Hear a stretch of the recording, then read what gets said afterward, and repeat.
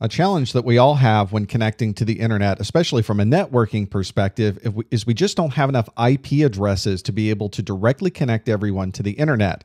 And what we've done is provide network address translation to solve that problem. We can have hundreds or thousands of people on our network, all with private IP addressing, but when they access the internet, they're all accessing it through a series of IP addresses that we as security people would probably administer. This is a good example of this. We have a lot of people that are inside of our network on this 192.168 network. Here's 3.22, here's 1.221, and 1.3. These guys are on one subnet, these guys are on another subnet.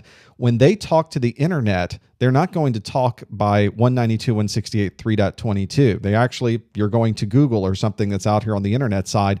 They'll send the request to Google, but before it leaves your facility, usually a router or in most cases a firewall is going to be doing a network address translation. This is a source network address translation because it's changing the source IP address that's being transmitted out to the internet. So it's taking and saying, you're no longer 192.168.3.22. To the rest of the internet, you're going to look as if you are 66.20.1.12.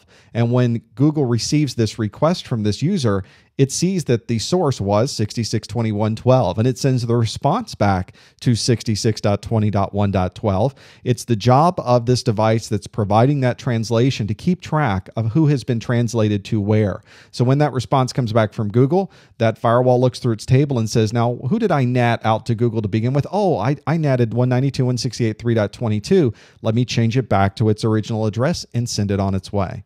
It sounds like that would be a very involved process. That there would be a lot of latency and delay with it, but the reality is it occurs very, very quickly. And to the end users, it's invisible. It happens instantly. There's really no delay at all. Another nice part about this is that we're not connecting our users directly to the internet. There's no way for someone on the internet to access 66.20.1.12 directly and somehow end up at this user. The only way you would be able to do that is if that user asked Google first and Google replied. So there is a security component to providing that source NAT. But what if you do have web servers and you do have email servers and you would like people on the internet to be able to access those devices directly? Well, you do the NAT in the other direction. You do something called a destination NAT. You configure your firewall or your router to say if you ever see an IP address coming in of 66.20.1.14 and that destination port number perhaps is TCP 80, we could say that that should be going to our web server. So what we'll do is if we have an inbound flow and it hits our our firewall and it says 662114 port 80. Well, I'm going to convert that. I'm going to do a destination NAT and change the destination IP to really be 192.168.3.22.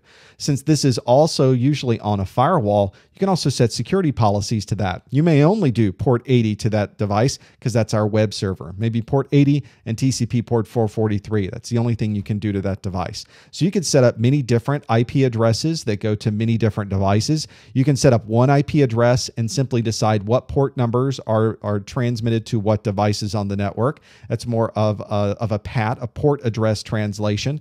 There's a lot of flexibility that you get with this, but it does provide you with a significant security advantage here because we can now decide who gets to talk into our network, how they get to talk into our network, and what specific devices they can talk to.